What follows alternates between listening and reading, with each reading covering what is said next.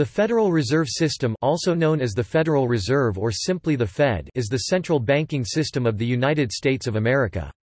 It was created on December 23, 1913, with the enactment of the Federal Reserve Act, after a series of financial panics particularly the Panic of 1907 led to the desire for central control of the monetary system in order to alleviate financial crises. Over the years, events such as the Great Depression in the 1930s and the Great Recession during the 2000s have led to the expansion of the roles and responsibilities of the Federal Reserve System. The U.S. Congress established three key objectives for monetary policy in the Federal Reserve Act maximizing employment, stabilizing prices, and moderating long term interest rates. The first two objectives are sometimes referred to as the Federal Reserve's dual mandate. Its duties have expanded over the years, and currently also include supervising and regulating banks, maintaining the stability of the financial system, and providing financial services to depository institutions, the U.S. government, and foreign official institutions. The Fed conducts research into the economy and provides numerous publications, such as the Beige Book and the Fred database. The Federal Reserve System is composed of several layers. It is governed by the presidentially appointed Board of Governors or Federal Reserve Board FRB. 12 regional Federal Reserve banks, located in cities throughout the nation, regulate and oversee privately owned commercial banks. Nationally chartered commercial banks are required to hold stock in, and can elect some of the board members of, the Federal Reserve Bank of their region. The Federal Open Market Committee FOMC sets monetary policy. It consists of all seven members of the Board of Governors and the 12 regional Federal Reserve Bank presidents, though only five bank presidents vote at a time the president of the New York Fed and four others who rotate through one-year voting terms. There are also various advisory councils. Thus, the Federal Reserve System has both public and private components. It has a structure unique among central banks, and is also unusual in that the United States Department of the Treasury, an entity outside of the central bank, prints the currency used. The federal government sets the salaries of the board's seven governors. The federal government receives all the system's annual profits, after a statutory dividend of 6% on member banks' capital investment is paid, and an account surplus is maintained.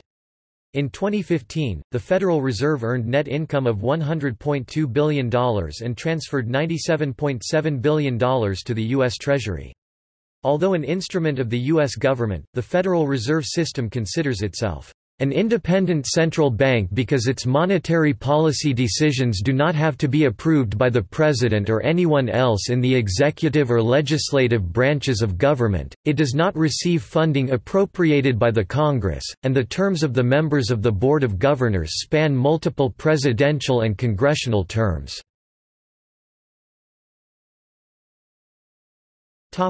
Purpose The primary motivation for creating the Federal Reserve System was to address banking panics. Other purposes are stated in the Federal Reserve Act, such as to furnish an elastic currency, to afford means of rediscounting commercial paper, to establish a more effective supervision of banking in the United States, and for other purposes." Before the founding of the Federal Reserve System, the United States underwent several financial crises. A particularly severe crisis in 1907 led Congress to enact the Federal Reserve Act in 1913. Today the Federal Reserve System has responsibilities in addition to ensuring the stability of the financial system. Current functions of the Federal Reserve System include to address the problem of banking panics, to serve as the central bank for the United States, to strike a balance between private interests of banks and the centralized responsibility of government, to supervise and regulate banking institutions to protect the credit rights of consumers to manage the nation's money supply through monetary policy to achieve the sometimes conflicting goals of maximum employment stable prices, including prevention of either inflation or deflation moderate long-term interest rates to maintain the stability of the financial system and contain systemic risk in financial markets to provide financial services to depository institutions, the U.S. government, and foreign official institutions, including playing a major role in operating the nation's payments system to facilitate the exchange of payments among regions to respond to local liquidity needs to strengthen U.S. standing in the world economy Topic. Addressing the problem of bank panics Banking institutions in the United States are required to hold reserves—amounts of currency and deposits in other banks—equal to only a fraction of the amount of the bank's deposit liabilities owed to customers. This practice is called fractional reserve banking. As a result, banks usually invest the majority of the funds received from depositors. On rare occasions, too many of the bank's customers will withdraw their savings and the bank will need help from another institution to continue operating, this is called a bank run. Bank runs can lead to a multitude of social and economic problems. The Federal Reserve System was designed as an attempt to prevent or minimize the occurrence of bank runs, and possibly act as a lender of last resort when a bank run does occur. Many economists, following Nobel laureate Milton Friedman, believe that the Federal Reserve inappropriately refused to lend money to small banks during the bank runs of 1929. Friedman argued that this contributed to the Great Depression. Topic: Check clearing system. Because some banks refused to clear checks from certain other banks during times of economic uncertainty, a check clearing system was created in the Federal Reserve System. It is briefly described in the Federal Reserve System purposes and functions as follows by creating the Federal Reserve System, Congress intended to eliminate the severe financial crises that had periodically swept the nation, especially the sort of financial panic that occurred in 1907. During that episode, payments were disrupted throughout the country because many banks and clearinghouses refused to clear checks drawn on certain other banks, a practice that contributed to the failure of otherwise solvent banks. To address these problems, Congress gave the Federal Reserve System the authority to establish a nationwide check clearing system. The system, then, was to provide not only an elastic currency—that is, a currency that would expand or shrink in amount as economic conditions warranted—but also an efficient and equitable check collection system. Lender of last resort In the United States, the Federal Reserve serves as the lender of last resort to those institutions that cannot obtain credit elsewhere and the collapse of which would have serious implications for the economy. It took over this role from the private sector, clearing houses, which operated during the free banking era, whether public or private. The availability of liquidity was intended to prevent bank runs. Topic: Fluctuations. Through its discount window and credit operations, reserve banks provide liquidity to banks to meet short-term needs stemming from seasonal fluctuations in deposits or unexpected withdrawals. Longer-term liquidity may also be provided in exceptional circumstances. The rate the Fed charges banks for these loans is called the discount rate officially the primary credit rate. By making these loans, the Fed serves as a buffer against unexpected day-to-day -day fluctuations in reserve demand and supply. This contributes to the effective functioning of the banking system, alleviates pressure in the reserves market and reduces the extent of unexpected movements in the interest rates. For example, on September 16, 2008, the Federal Reserve Board authorized an $85 billion loan to stave off the bankruptcy of international insurance giant American International Group AIG. Central Bank In its role as the central bank of the United States, the Fed serves as a banker's bank and as the government's bank. As the banker's bank, it helps to assure the safety and efficiency of the payment system. As the government's bank or fiscal agent, the Fed processes a variety of financial transactions involving trillions of dollars. Just as an individual might keep an account at a bank, the U.S. Treasury keeps a checking account with the Federal Reserve, through which incoming federal tax deposits and outgoing government payments are handled. As part of this service relationship, the Fed sells and redeems U.S. government securities such as savings bonds and treasury bills, notes and bonds. It also issues the nation's coin and paper currency. The U.S. Treasury, through its Bureau of the Mint and Bureau of Engraving and Printing, actually produces the nation's cash supply and, in effect, sells the paper currency to the Federal Reserve banks at manufacturing cost, and the coins at face value.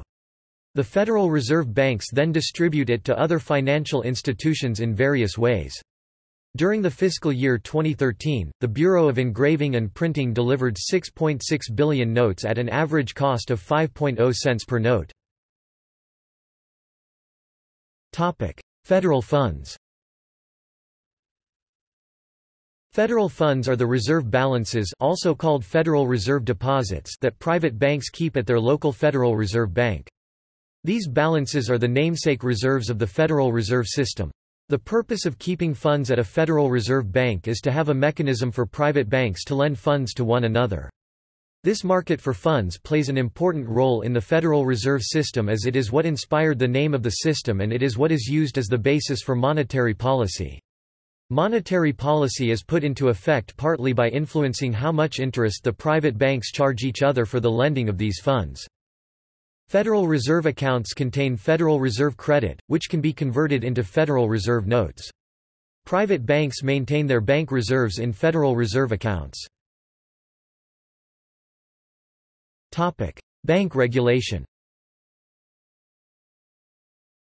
The Federal Reserve regulates private banks. The system was designed out of a compromise between the competing philosophies of privatization and government regulation. In 2006 Donald L. Cohn, vice chairman of the Board of Governors, summarized the history of this compromise. Agrarian and progressive interests, led by William Jennings Bryan, favored a central bank under public, rather than banker, control. But the vast majority of the nation's bankers, concerned about government intervention in the banking business, opposed a central bank structure directed by political appointees. The legislation that Congress ultimately adopted in 1913 reflected a hard-fought battle to balance these two competing views and created the hybrid public-private, centralized-decentralized structure that we have today.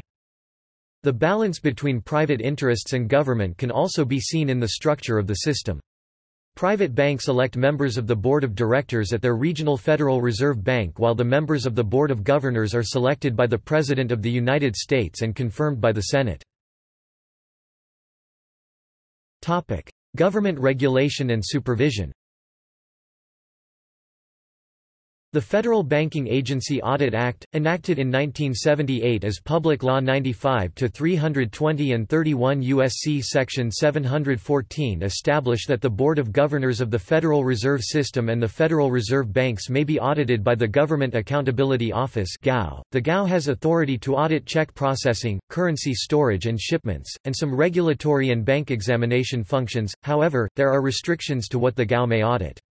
Under the Federal Banking Agency Audit Act, 31 U.S.C. Section 714 b, audits of the Federal Reserve Board and Federal Reserve banks do not include 1 transactions for or with a foreign central bank or government or non-private international financing organization, 2 deliberations, decisions, or actions on monetary policy matters, 3 transactions made under the direction of the Federal Open Market Committee, or 4 a part of a discussion or communication among or between members of the Board of Governors and officers officers and employees of the Federal Reserve System related to items 1, 2, or 3. See Federal Reserve System audits, restrictions on GAO's access GAO, TGGD 9444, Statement of Charles A. Bowsher. The Board of Governors in the Federal Reserve System has a number of supervisory and regulatory responsibilities in the U.S. banking system, but not complete responsibility. A general description of the types of regulation and supervision involved in the U.S. banking system is given by the Federal Reserve. The board also plays a major role in the supervision and regulation of the U.S. banking system. It has supervisory responsibilities for state-chartered banks that are members of the Federal Reserve System, bank holding companies companies that control banks, the foreign activities of member banks, the U.S. activities of foreign banks, and EDGE Act and agreement corporations. Limited-purpose institutions that engage in a foreign banking business. The board and, under delegated authority, the Federal Reserve Banks, supervise approximately 900 state member banks and 5,000 bank holding companies. Other federal agencies also serve as the primary federal supervisors of commercial banks. The Office of the Comptroller of the Currency supervises national banks, and the Federal Deposit Insurance Corporation supervises state banks that are not members of the Federal Reserve System. Some regulations issued by the board apply to the entire banking industry, whereas others apply only to member banks, that is, state banks that have chosen to join the Federal Reserve System and national banks, which by law must be members of the system. The board also issues regulations to carry out major federal laws governing consumer credit protection, such as the Truth in Lending, Equal Credit Opportunity, and Home Mortgage Disclosure Acts. Many of these consumer protection regulations apply to various lenders outside the banking industry as well as to banks. Members of the Board of Governors are in continual contact with other policy makers in government. They frequently testify before congressional committees on the economy, monetary policy, banking supervision and regulation, consumer credit protection, financial markets, and other matters. The board has regular contact with members of the President's Council of Economic Advisers and other key economic officials. The chair also meets from time to time with the President of the United States and has regular meetings with the Secretary of the Treasury. The chair has formal responsibilities in the international arena as well. Regulatory and oversight responsibilities. The Board of Directors of each Federal Reserve Bank district also has regulatory and supervisory responsibilities. If the Board of Directors of a district bank has judged that a member bank is performing or behaving poorly, it will report this to the Board of Governors. This policy is described in United States Code. Each Federal Reserve Bank shall keep itself informed of the general character and amount of the loans and investments of its member banks with a view to ascertaining whether undue use is being made of bank credit for the speculative carrying of or trading in securities, real estate, or commodities, or for any other purpose inconsistent with the maintenance of sound credit conditions, and, in determining whether to grant or refuse advances, rediscounts, or other credit accommodations, the Federal Reserve Bank shall give consideration to such information. The chairman of the Federal Reserve Bank shall report to the Board of Governors of the Federal Reserve System any such undue use of bank credit by any member bank, together with his recommendation. Whenever, in the judgment of the Board of Governors of the Federal Reserve System, any member bank is making such undue use of bank credit, the Board may, in its discretion, after reasonable notice and an opportunity for a hearing, suspend such bank from the use of the credit facilities of the Federal Reserve System and may terminate such suspension or may renew it from time to time. National payment System The Federal Reserve plays a role in the U.S. payment system. The 12 Federal Reserve Banks provide banking services to depository institutions and to the federal government. For depository institutions, they maintain accounts and provide various payment services, including collecting checks, electronically transferring funds, and distributing and receiving currency and coin. For the federal government, the Reserve Banks act as fiscal agents, paying Treasury checks, processing electronic payments, and issuing, transferring, and redeeming U.S. government securities. In the Depository Institutions Deregulation and Monetary Control Act of 1980, Congress reaffirmed that the Federal Reserve should promote an efficient nationwide payment system. The Act subjects all depository institutions, not just member commercial banks, to reserve requirements and grants them equal access to reserve bank payment services. The Federal Reserve plays a role in the nation's retail and wholesale payments systems by providing financial services to depository institutions. Retail payments are generally for relatively small dollar amounts and often involve a depository institution's retail clients—individuals and smaller businesses. The Reserve Bank's retail services include distributing currency and coin, collecting checks, and electronically transferring funds through the automated clearinghouse system. By contrast, wholesale payments are generally for large dollar amounts and often involve a depository institution's large corporate customers or counterparties, including other financial institutions. The Reserve Bank's wholesale services include electronically transferring funds through the Fedwire Funds Service and transferring securities issued by the U.S. government, its agencies, and certain other entities through the Fedwire Securities Service. Structure The Federal Reserve System has a unique structure that is both public and private, and is described as independent within the government, rather than independent of government. The system does not require public funding, and derives its authority and purpose from the Federal Reserve Act, which was passed by Congress in 1913 and is subject to congressional modification or repeal. The four main components of the Federal Reserve System are 1 the Board of Governors, 2 the Federal Open Market Committee, 3 the 12 regional Federal Reserve Banks, and 4 the member banks throughout the country. Topic: Board of Governors The seven-member Board of Governors is a federal agency. It is charged with the overseeing of the 12 district reserve banks and setting national monetary policy. It also supervises and regulates the U.S. banking system in general. Governors are appointed by the President of the United States and confirmed by the Senate for staggered 14-year terms. One term begins every two years, on February 1 of even-numbered years, and members serving a full term cannot be renominated for a second term. Upon the expiration of their terms of office, members of the board shall continue to serve until their successors are appointed and have qualified. The law provides for the removal of a member of the board by the President, for cause.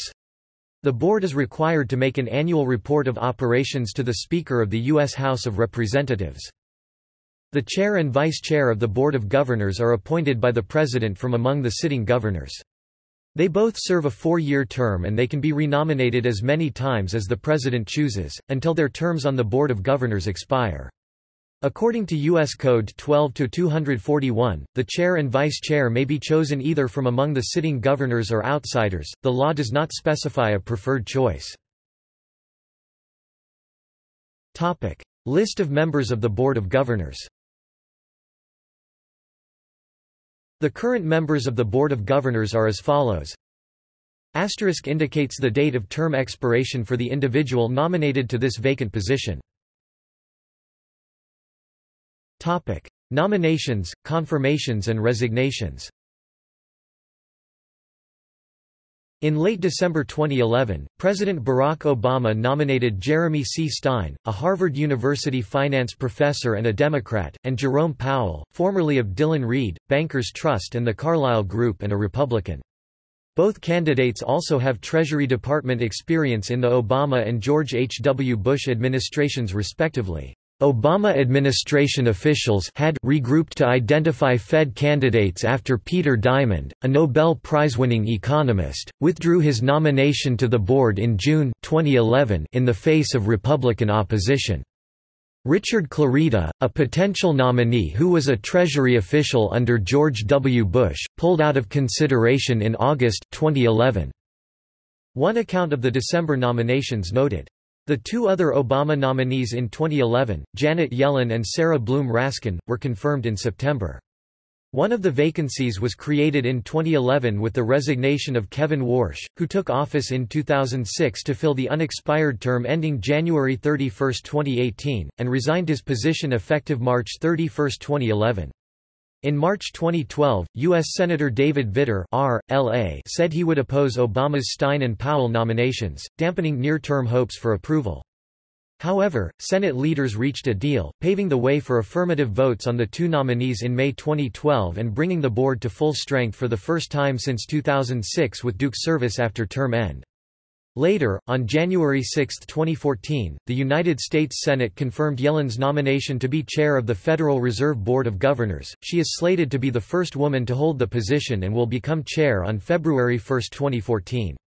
Subsequently, President Obama nominated Stanley Fischer to replace Yellen as the vice chair. In April 2014, Stein announced he was leaving to return to Harvard May 28 with four years remaining on his term. At the time of the announcement, the FOMC already is down three members as it awaits the Senate confirmation of Fischer and Lael Brainard, and as president Obama has yet to name a replacement for Duke. Powell is still serving as he awaits his confirmation for a second term. Allan R. Landon, former president and CEO of the Bank of Hawaii, was nominated in early 2015 by President Obama to the board. In July 2015, President Obama nominated University of Michigan economist Kathryn M. Dominguez to fill the second vacancy on the board.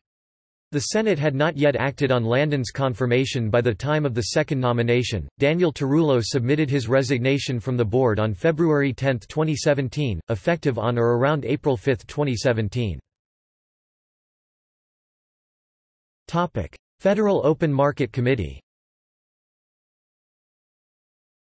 The Federal Open Market Committee FOMC consists of 12 members, 7 from the Board of Governors and 5 of the regional Federal Reserve Bank presidents. The FOMC oversees and sets policy on open market operations, the principal tool of national monetary policy. These operations affect the amount of Federal Reserve balances available to depository institutions, thereby influencing overall monetary and credit conditions. The FOMC also directs operations undertaken by the Federal Reserve in foreign exchange markets. The FOMC must reach consensus on all decisions. The President of the Federal Reserve Bank of New York is a permanent member of the FOMC. The presidents of the other banks rotate membership at two and three year intervals. All regional Reserve Bank presidents contribute to the committee's assessment of the economy and of policy options, but only the five presidents who are then members of the FOMC vote on policy decisions. The FOMC determines its own internal organization and, by tradition, elects the chair of the Board of Governors as its chair and the president of the Federal Reserve Bank of New York as its vice chair. Formal meetings typically are held eight times each year in Washington, D.C. Non-voting Reserve Bank presidents also participate in committee deliberations and discussion. The FOMC generally meets eight times a year in telephone consultations and other meetings are held when needed. Federal Advisory Council The Federal Advisory Council, composed of 12 representatives of the banking industry, advises the board on all matters within its jurisdiction. Topic: Federal Reserve Banks. There are 12 Federal Reserve Banks, each of which is responsible for member banks located in its district.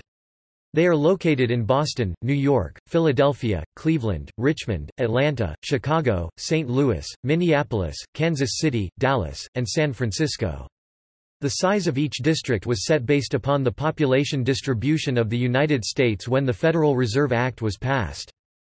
The charter and organization of each Federal Reserve Bank is established by law and cannot be altered by the member banks. Member banks, do however, elect six of the nine members of the Federal Reserve Bank's boards of directors. Each regional bank has a president, who is the chief executive officer of their bank. Each regional reserve bank's president is nominated by their bank's board of directors, but the nomination is contingent upon approval by the board of governors. Presidents serve five-year terms and may be reappointed. Each regional bank's board consists of nine members. Members are broken down into three classes, A, B, and C. There are three board members in each class. Class A members are chosen by the regional bank's shareholders, and are intended to represent member banks' interests. Member banks are divided into three categories, large, medium, and small. Each category elects one of the three Class A board members. Class B board members are also nominated by the region's member banks, but Class B board members are supposed to represent the interests of the public. Lastly, Class C board members are appointed by the Board of Governors, and are also intended to represent the interests of the public. Legal status of regional Federal Reserve banks The Federal Reserve Banks have an intermediate legal status, with some features of private corporations and some features of public federal agencies.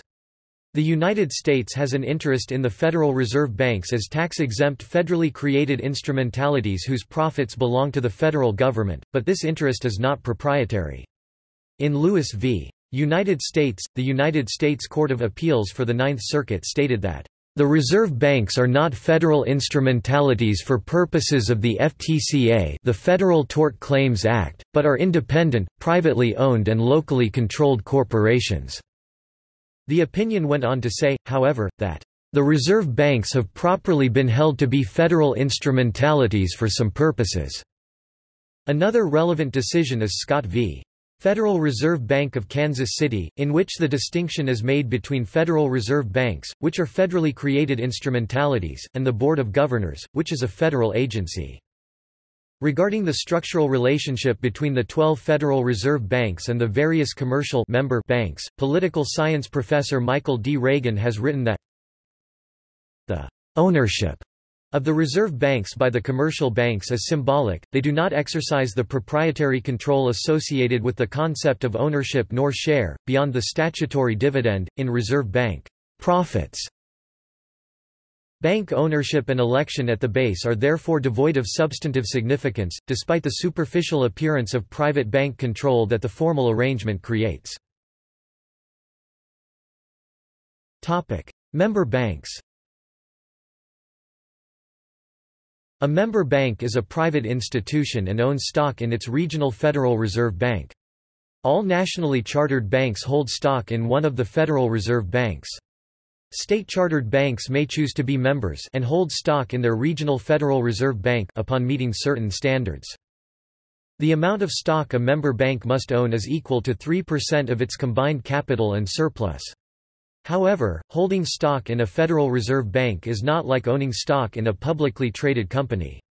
These stocks cannot be sold or traded, and member banks do not control the Federal Reserve Bank as a result of owning this stock.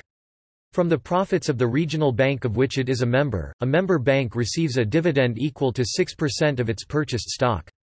The remainder of the regional Federal Reserve Bank's profits is given over to the United States Treasury Department. In 2015, the Federal Reserve Banks made a profit of $100.2 billion and distributed $2.5 billion in dividends to member banks as well as returning $97. 7 billion to the U.S. Treasury, about 38% of U.S. banks are members of their regional Federal Reserve Bank. Accountability An external auditor selected by the Audit Committee of the Federal Reserve System regularly audits the Board of Governors and the Federal Reserve Banks. The GAO will audit some activities of the Board of Governors. These audits do not cover most of the Fed's monetary policy actions or decisions, including discount window lending direct loans to financial institutions, open market operations and any other transactions made under the direction of the Federal Open Market Committee. Nor may the GAO audit dealings with foreign governments and other central banks.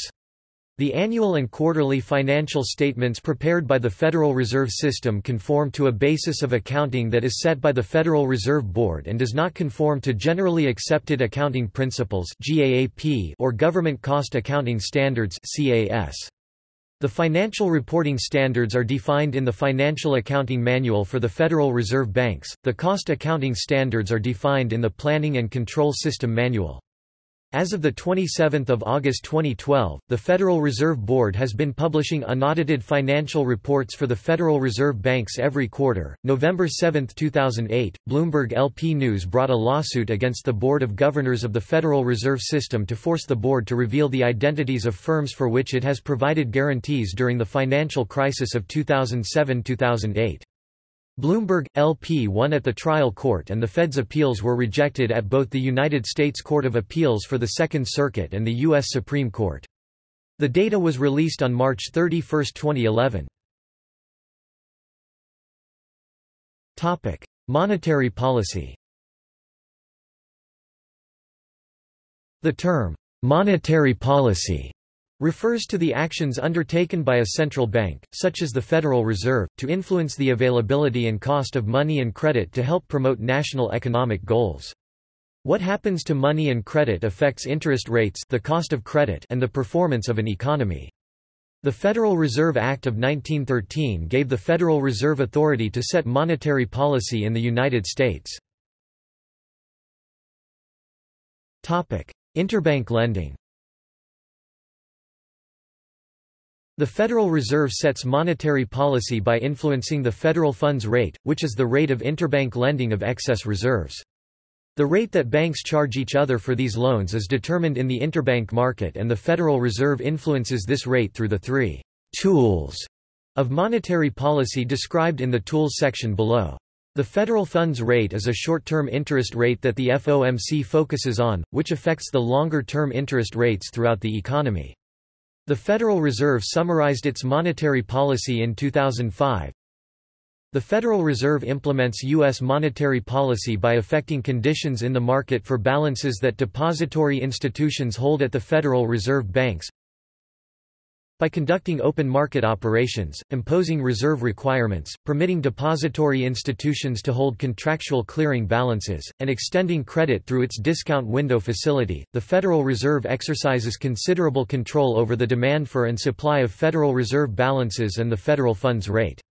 Through its control of the federal funds rate, the Federal Reserve is able to foster financial and monetary conditions consistent with its monetary policy objectives. Effects on the quantity of reserves that banks use to make loans influence the economy. Policy actions that add reserves to the banking system encourage lending at lower interest rates thus stimulating growth in money, credit, and the economy. Policy actions that absorb reserves work in the opposite direction. The Fed's task is to supply enough reserves to support an adequate amount of money and credit, avoiding the excesses that result in inflation and the shortages that stifle economic growth. Topic: Tools. There are three main tools of monetary policy that the Federal Reserve uses to influence the amount of reserves in private banks. Topic: Federal funds rate and open market operations. The Federal Reserve System implements monetary policy largely by targeting the federal funds rate. This is the interest rate that banks charge each other for overnight loans of federal funds, which are the reserves held by banks at the Fed. This rate is actually determined by the market and is not explicitly mandated by the Fed. The Fed therefore tries to align the effective federal funds rate with the targeted rate by adding or subtracting from the money supply through open market operations. The Federal Reserve System usually adjusts the federal funds rate target by 0.25% or 0.50% at a time. Open market operations allow the Federal Reserve to increase or decrease the amount of money in the banking system as necessary to balance the Federal Reserve's dual mandates. Open market operations are done through the sale and purchase of United States Treasury security, sometimes called Treasury bills, or more informally, T-bills or treasuries. The Federal Reserve buys treasury bills from its primary dealers. The purchase of these securities affects the federal funds rate, because primary dealers have accounts at depository institutions. The Federal Reserve Education website describes open market operations as follows Open market operations involve the buying and selling of U.S. government securities federal agency and mortgage-backed, the term open market means that the Fed doesn't decide on its own which securities dealers it will do business with on a particular day. Rather, the choice emerges from an open market in which the various securities dealers that the Fed does business with—the primary dealers—compete on the basis of price. Open market operations are flexible and thus, the most frequently used tool of monetary policy. Open market operations are the primary tool used to regulate the supply of bank reserves. This tool consists of Federal Reserve purchases and sales of financial instruments, usually securities issued by the U.S. Treasury, federal agencies and government-sponsored enterprises. Open market operations are carried out by the domestic trading desk of the Federal Reserve Bank of New York under direction from the FOMC. The transactions are undertaken with primary dealers. The Fed's goal in trading the securities is to affect the federal funds rate, the rate at which banks borrow reserves from each other. When the Fed wants to increase reserves, it buys securities and pays for them by making a deposit to the account maintained at the Fed by the primary dealer's bank. When the Fed wants to reduce reserves, it sells securities and collects from those accounts. Most days, the Fed does not want to increase or decrease reserves permanently so it usually engages in transactions reversed within a day or two. That means that a reserve injection today could be withdrawn tomorrow morning, only to be renewed at some level several hours later. These short-term transactions are called repurchase agreements repos. The dealer sells the Fed a security and agrees to buy it back at a later date. repurchase agreements To smooth temporary or cyclical changes in the money supply, the desk engages in repurchase agreements repos with its primary dealers. Repos are essentially secured, short-term lending by the Fed. On the day of the transaction, the Fed deposits money in a primary dealer's reserve account, and receives the promised securities as collateral. When the transaction matures, the process unwinds, the Fed returns the collateral and charges the primary dealer's reserve account for the principal and accrued interest. The term of the repo the time between settlement and maturity can vary from one day called an overnight repo to 65 days. Discount rate The Federal Reserve System also directly sets the discount rate which is the interest rate for discount window lending, overnight loans that member banks borrow directly from the Fed. This rate is generally set at a rate close to 100 basis points above the target federal funds rate.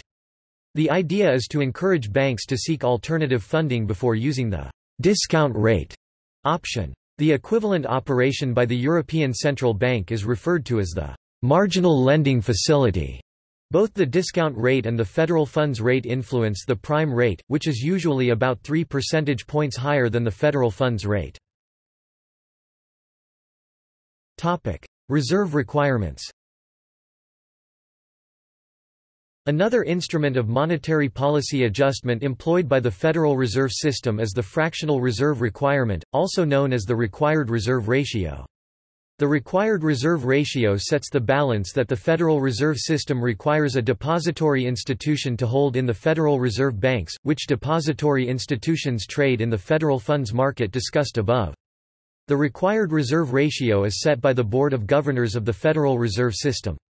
The reserve requirements have changed over time and some history of these changes is published by the Federal Reserve. As a response to the financial crisis of 2008, the Federal Reserve now makes interest payments on depository institutions' required and excess reserve balances. The payment of interest on excess reserves gives the central bank greater opportunity to address credit market conditions while maintaining the federal funds rate close to the target rate set by the FOMC. New facilities In order to address problems related to the subprime mortgage crisis and United States housing bubble, several new tools have been created.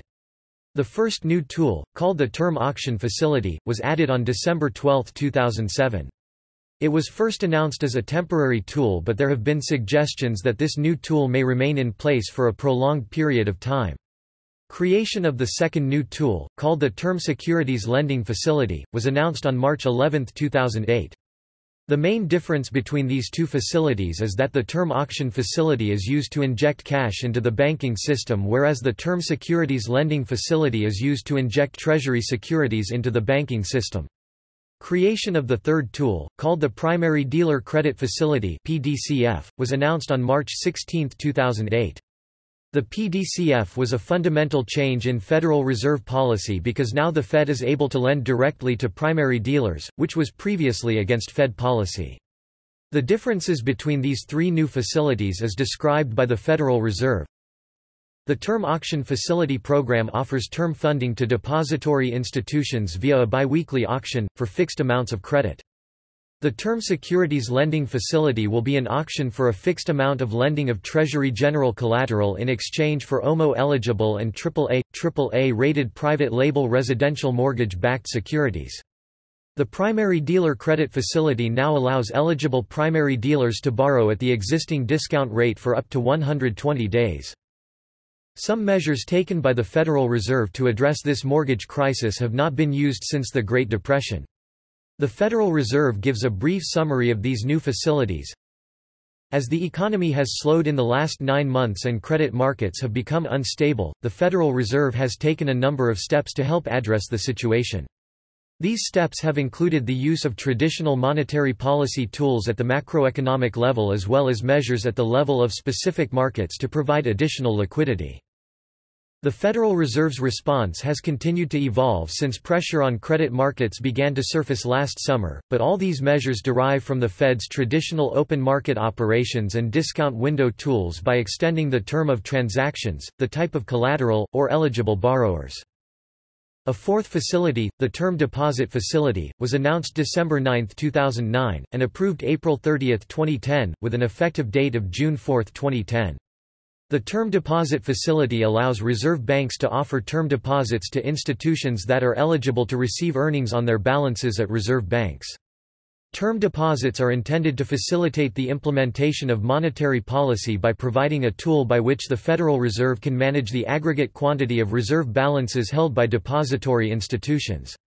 Funds placed in term deposits are removed from the accounts of participating institutions for the life of the term deposit and thus drain reserve balances from the banking system. Term auction facility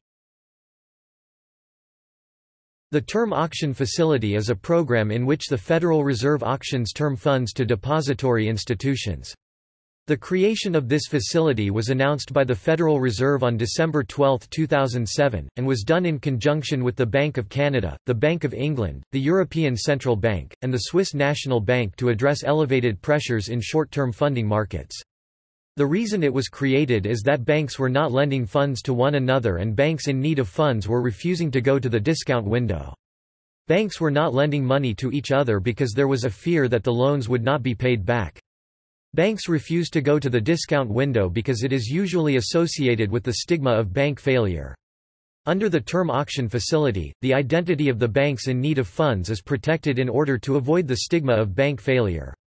Foreign exchange swap lines with the European Central Bank and Swiss National Bank were open so the banks in Europe could have access to US dollars.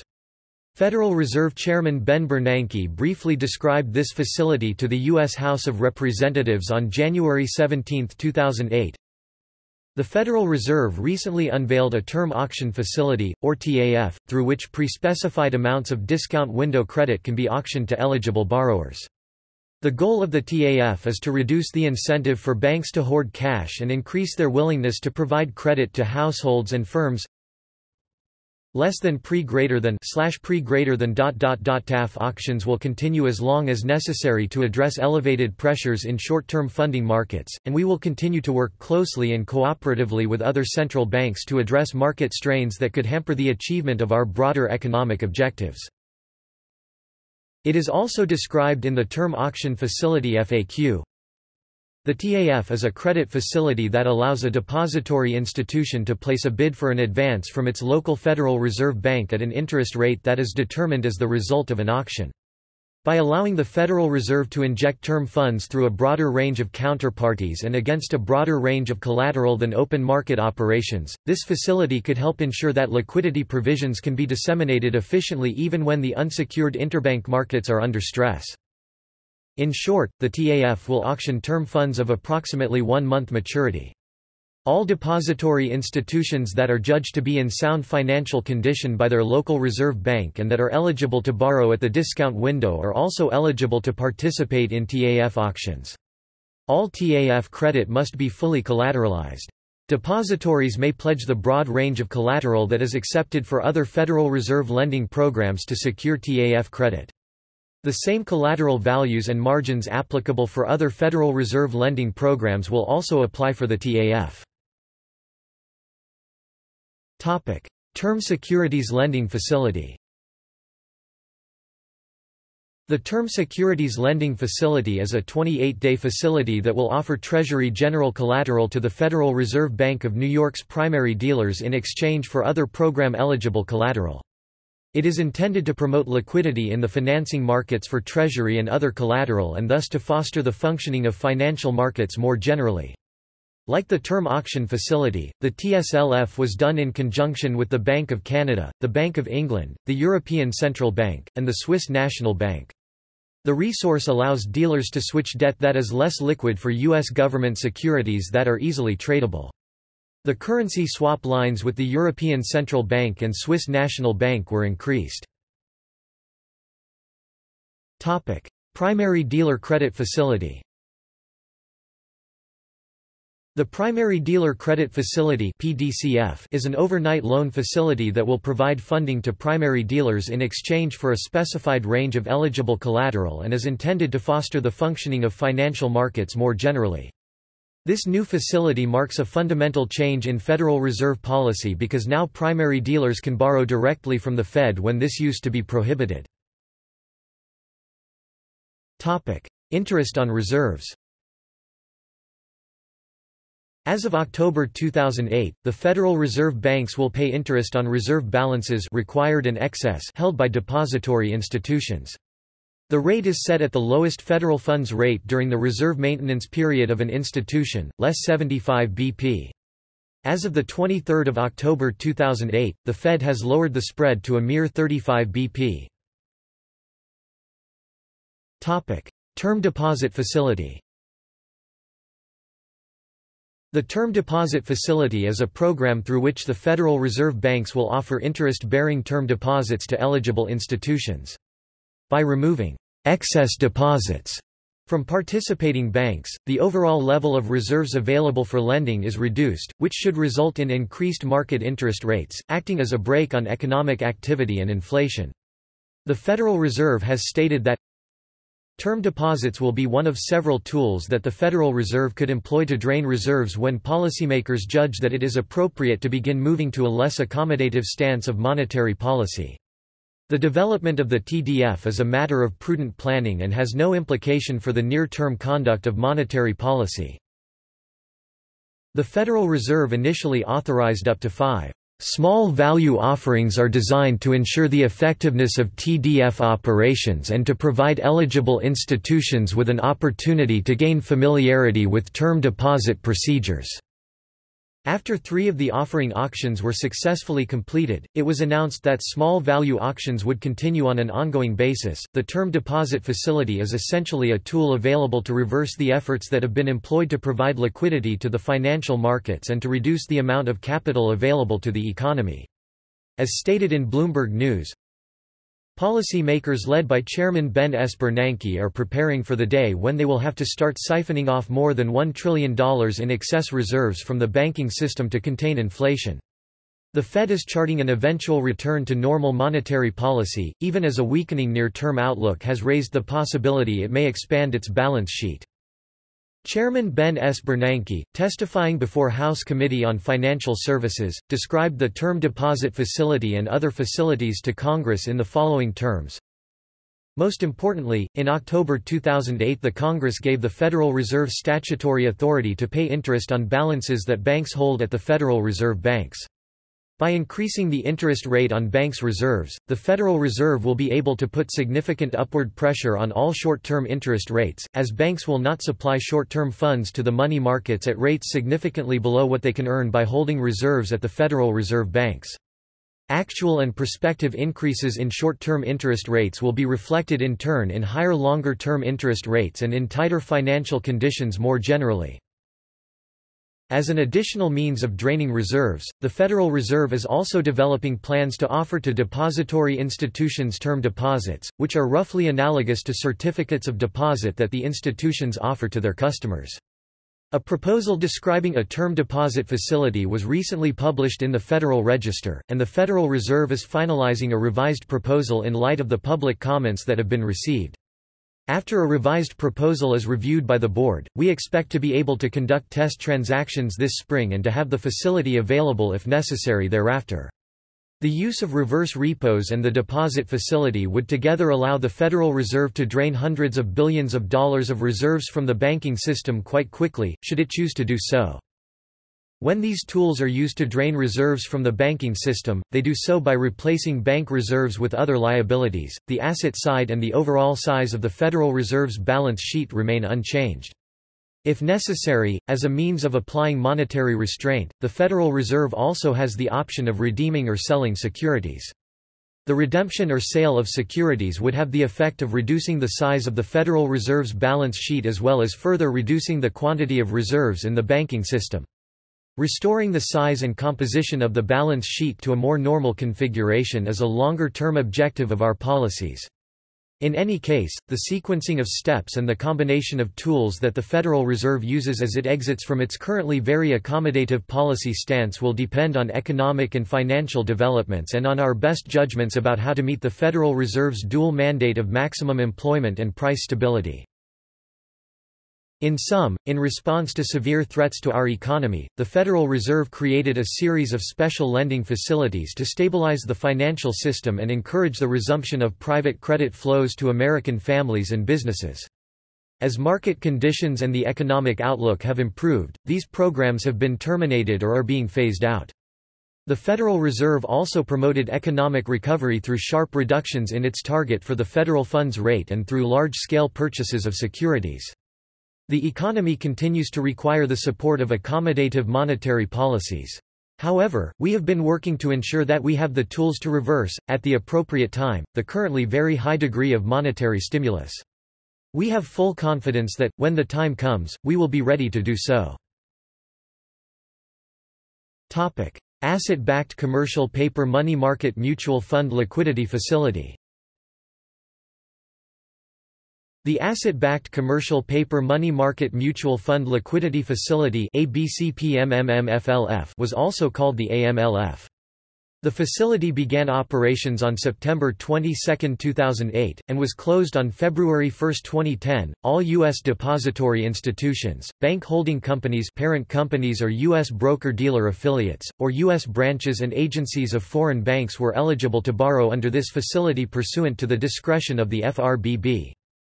Collateral eligible for pledge under the facility was required to meet the following criteria. Was purchased by borrower on or after September 19, 2008 from a registered investment company that held itself out as a money market mutual fund.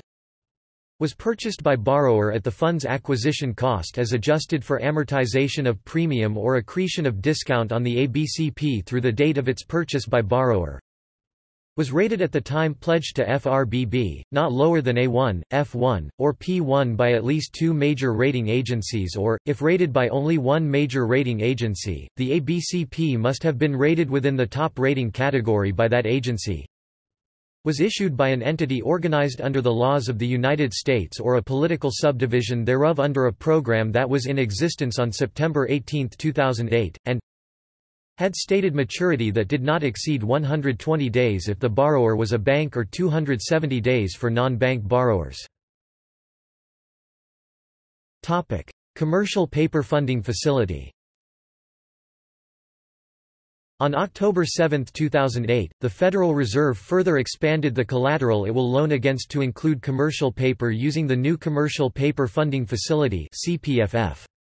The action made the Fed a crucial source of credit for non-financial businesses in addition to commercial banks and investment firms. Fed officials said they'll buy as much of the debt as necessary to get the market functioning again. They refused to say how much that might be, but they noted that around $1.3 trillion worth of commercial paper would qualify. There was $1.61 trillion in outstanding commercial paper, seasonally adjusted, on the market as of 1 October 2008, according to the most recent data from the Fed. That was down from $1.70 trillion in the previous week. Since the summer of 2007, the market has shrunk from more than $2.2 trillion. This program lent out a total $738 billion before it was closed. 45 out of 81 of the companies participating in this program were foreign firms. Research shows that Troubled Asset Relief Program (TARP) recipients were twice as likely to participate in the program than other commercial paper issuers who did not take advantage of the TARP bailout. The Fed incurred no losses from the CPFF. Topic: Quantitative policy. A little used tool of the Federal Reserve is the quantitative policy. With that the Federal Reserve actually buys back corporate bonds and mortgage-backed securities held by banks or other financial institutions. This in effect puts money back into the financial institutions and allows them to make loans and conduct normal business. The bursting of the United States housing bubble prompted the Fed to buy mortgage-backed securities for the first time in November 2008. Over six weeks, a total of $1.25 trillion were purchased in order to stabilize the housing market, about one-fifth of all U.S. government-backed mortgages. History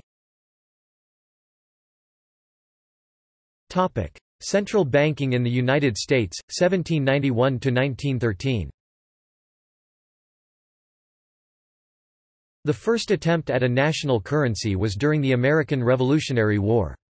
In 1775, the Continental Congress, as well as the states, began issuing paper currency, calling the bills «continentals». The Continentals were backed only by future tax revenue, and were used to help finance the Revolutionary War. Overprinting, as well as British counterfeiting, caused the value of the Continental to diminish quickly. This experience with paper money led the United States to strip the power to issue bills of credit paper money from a draft of the new Constitution on August 16, 1787, as well as banning such issuance by the various states, and limiting the states' ability to make anything but gold or silver coin legal tender on August 28. In 1791, the government granted the First Bank of the United States a charter to operate as the U.S. Central Bank until 1811. The First Bank of the United States came to an end under President Madison because Congress refused to renew its charter. The Second Bank of the United States was established in 1816, and lost its authority to be the central bank of the U.S. 20 years later under President Jackson when its charter expired. Both banks were based upon the Bank of England. Ultimately, a third national bank, known as the Federal Reserve, was established in 1913 and still exists to this day.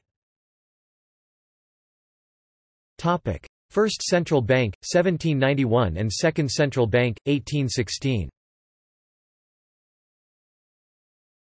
The first U.S. institution with central banking responsibilities was the First Bank of the United States, chartered by Congress and signed into law by President George Washington on February 25, 1791, at the urging of Alexander Hamilton. This was done despite strong opposition from Thomas Jefferson and James Madison, among numerous others. The charter was for 20 years and expired in 1811 under President Madison, because Congress refused to renew it. In 1816, however, Madison revived it in the form of the Second Bank of the United States. Years later, early renewal of the bank's charter became the primary issue in the re-election of President Andrew Jackson.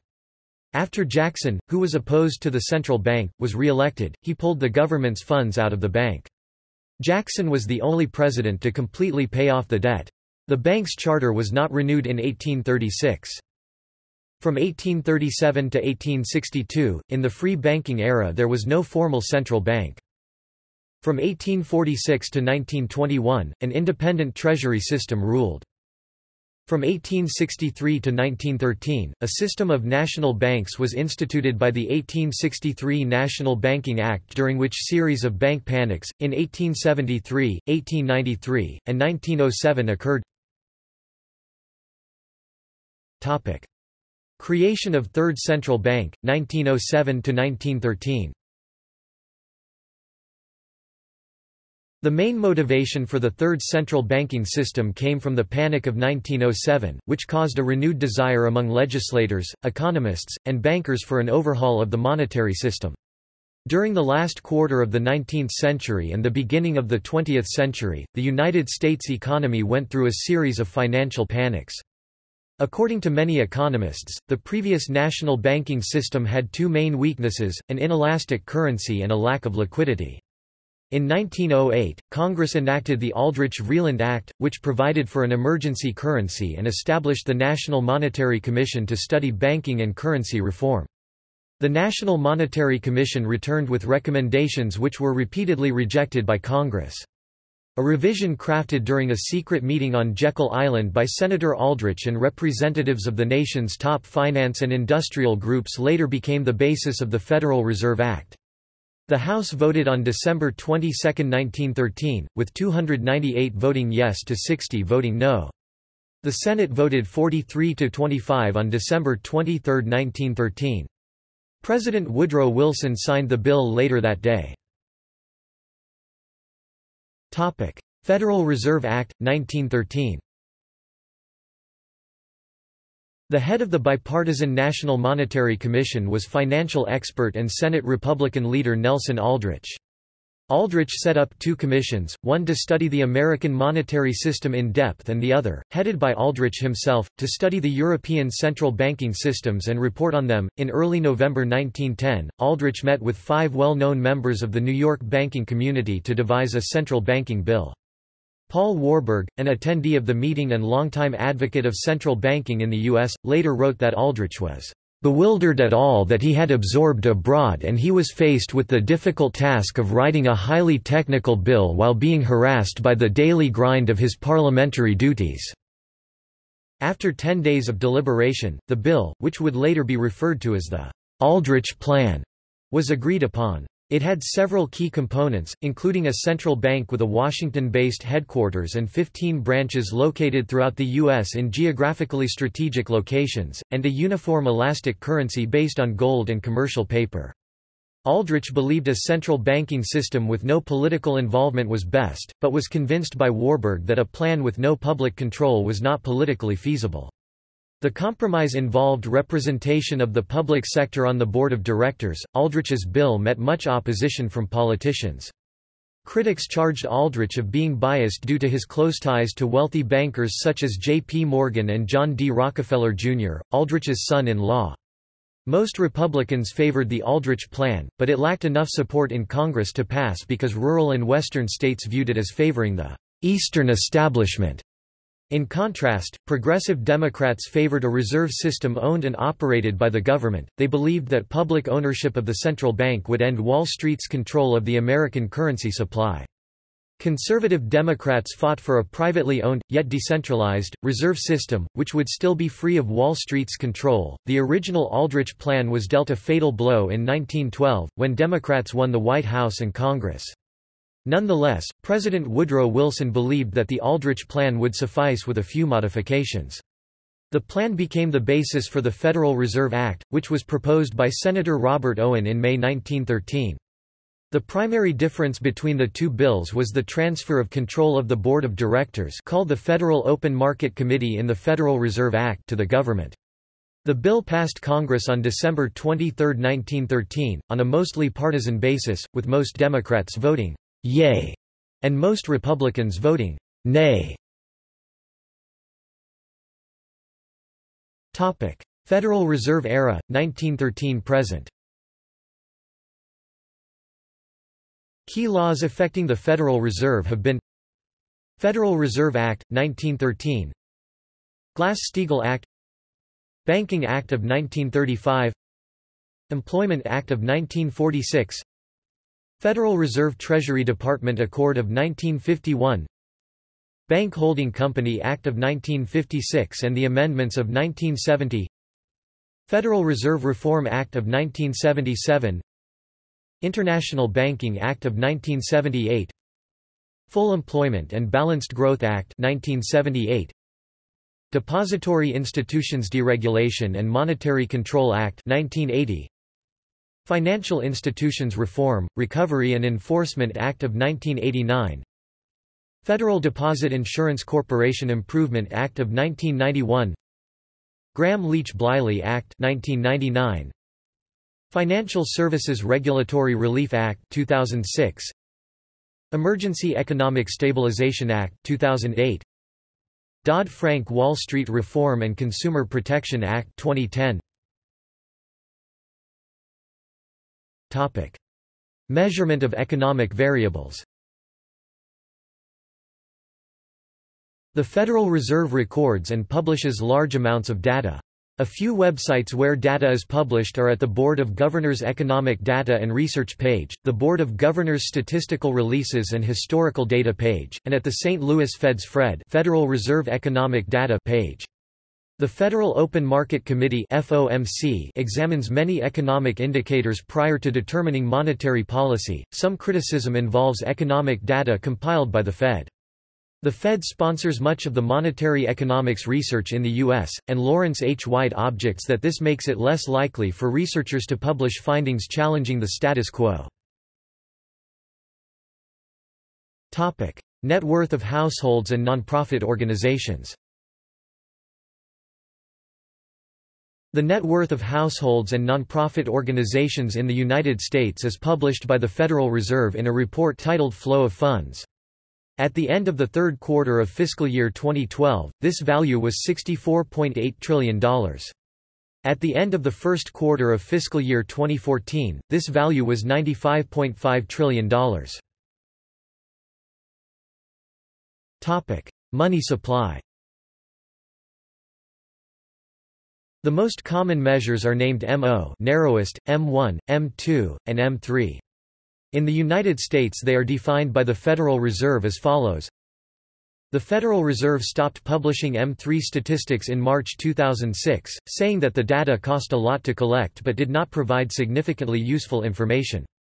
The other three money supply measures continue to be provided in detail. Personal consumption expenditures price index The Personal Consumption Expenditures Price Index, also referred to as simply the PCE Price Index, is used as one measure of the value of money. It is a United States-wide indicator of the average increase in prices for all domestic personal consumption. Using a variety of data including United States Consumer Price Index and U.S. Producer Price Index prices, it is derived from the largest component of the gross domestic product in the B's National Income and Product Accounts, personal consumption expenditures. One of the Fed's main roles is to maintain price stability, which means that the Fed's ability to keep a low inflation rate is a long-term measure of their success.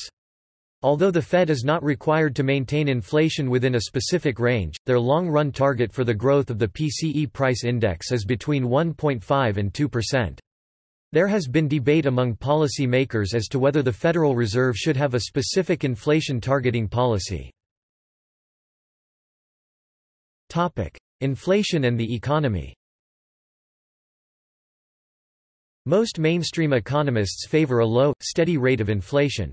Low as opposed to zero or negative inflation may reduce the severity of economic recessions by enabling the labor market to adjust more quickly in a downturn, and reduce the risk that a liquidity trap prevents monetary policy from stabilizing the economy. The task of keeping the rate of inflation low and stable is usually given to monetary authorities. Unemployment rate One of the stated goals of monetary policy is maximum employment. The unemployment rate statistics are collected by the Bureau of Labor Statistics, and like the PCE price index are used as a barometer of the nation's economic health. Budget The Federal Reserve is self-funded. The vast majority 90% plus of Fed revenues come from open market operations, specifically the interest on the portfolio of Treasury securities as well as capital gains, losses that may arise from the buying, selling of the securities and their derivatives as part of open market operations. The balance of revenues come from sales of financial services check and electronic payment processing and discount window loans. The Board of Governors Federal Reserve Board creates a budget report once per year for Congress.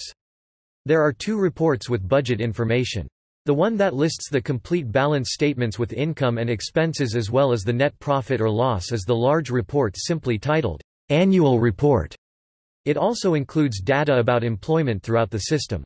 The other report, which explains in more detail the expenses of the different aspects of the whole system, is called Annual Report, Budget Review.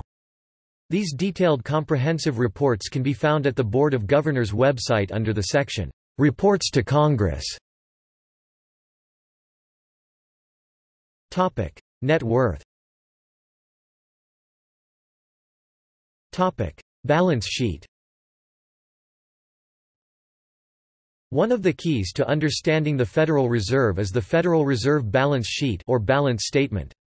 In accordance with Section 11 of the Federal Reserve Act, the Board of Governors of the Federal Reserve System publishes once each week the Consolidated Statement of Condition of All Federal Reserve Banks, showing the condition of each Federal Reserve Bank and a consolidated statement for all Federal Reserve Banks. The Board of Governors requires that excess earnings of the reserve banks be transferred to the Treasury as interest on Federal Reserve notes. Below is the balance sheet as of 6 July 2011 in billions of dollars. In addition, the balance sheet also indicates which assets are held as collateral against Federal Reserve notes. Criticism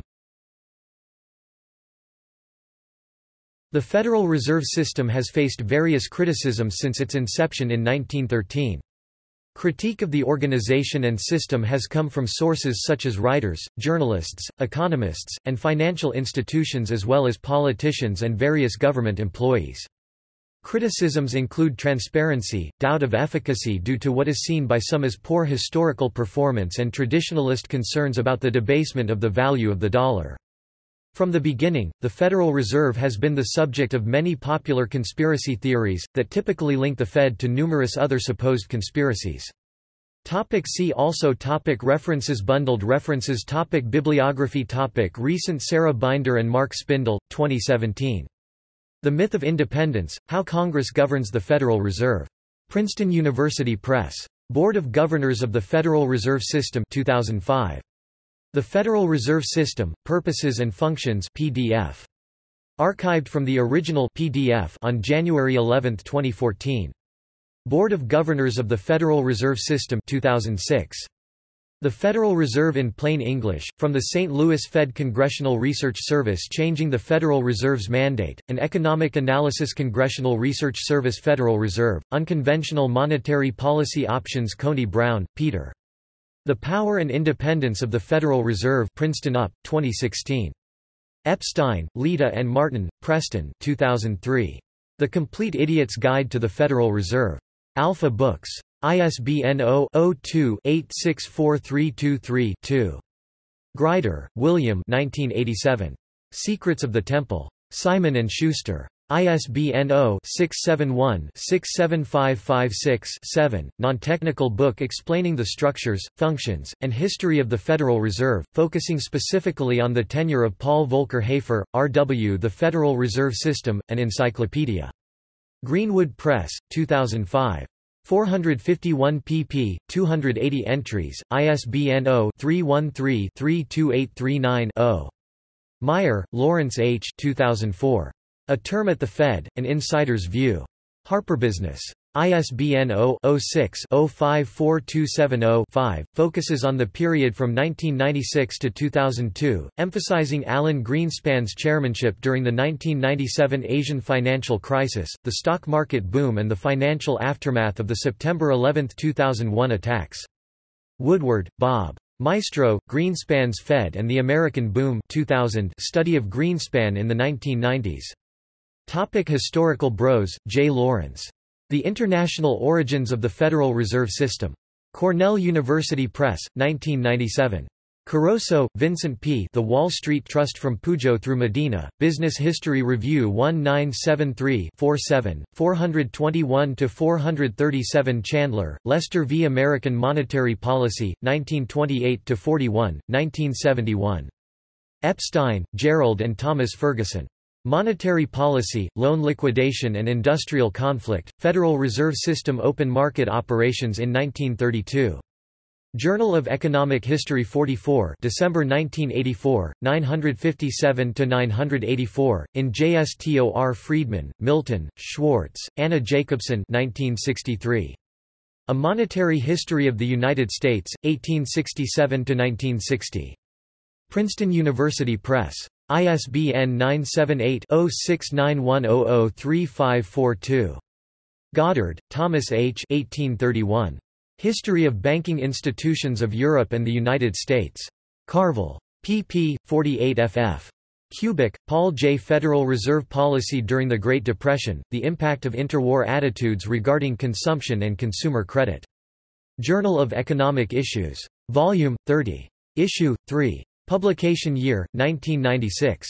pp. 829+. Link, Arthur 1956. Wilson, The New Freedom. Princeton University Press. pp. 199–240. Livingston, James. Origins of the Federal Reserve System, Money, Class, and Corporate Capitalism, 1890–1913 1986, Marxist Approach to 1913 Policy Lowenstein, Roger 2015. America's Bank, The Epic Struggle to Create the Federal Reserve. Penguin Press. p. 368. ISBN 978-0143109846. Marrs, Jim 2000. Secrets of Money and the Federal Reserve System. Rule by Secrecy, 64–78. Mayhew, Anne. Ideology and the Great Depression, Monetary History Rewritten. Journal of Economic Issues 17 June 1983, 353–360. Meltzer, Allan H. 2004. A History of the Federal Reserve, Volume 1 to 1913–1951. ISBN 978-0-226-51999-9, Cloth and ISBN 978-0-226-52000-1 Paper Meltzer, Allan H. 2009. A History of the Federal Reserve, Volume 2, Book 1, 1951–1969. ISBN 978-0-226-52001-8. Meltzer, Allan H. 2009. A History of the Federal Reserve, Volume 2, Book 2, 1969–1985. ISBN 978 0 226 51994 4. In three volumes published so far, Meltzer covers the first 70 years of the Fed in considerable detail. Mullins, Eustace C. The Secrets of the Federal Reserve, 1952. John McLaughlin. ISBN 0-9656492-1-0 Roberts, Priscilla. Quis custodiet ipsos custodes, The Federal Reserve System's Founding Fathers and Allied Finances in the First World War, Business History Review 1998-72, 585–603 Rothbard, Murray 2007. The Case Against the Fed. Ludwig von Mises Institute. ISBN 978-1467934893. Bernard Shull, The Fourth Branch, The Federal Reserve's Unlikely Rise to Power and Influence 2005 ISBN 1-56720-624-7 Steindl, Frank G. Monetary Interpretations of the Great Depression, 1995. Temin, Peter 1976. Did Monetary Forces Cause the Great Depression? W. W. Norton and Company. ISBN 978 0393 092097. Wells, Donald R. The Federal Reserve System, A History 2004 West, Robert Craig. Banking Reform and the Federal Reserve, 1863–1923 1977 Wicker, Elmas. A Reconsideration of Federal Reserve Policy During the 1920–1921 Depression, Journal of Economic History 1966-26, 223–238, in JSTOR Wicker, Elmas. Federal Reserve Monetary Policy, 1917–33, 1966. Wicker, Elmas. The Great Debate on Banking Reform, Nelson Aldrich and the Origins of the Fed Ohio State University Press, 2005.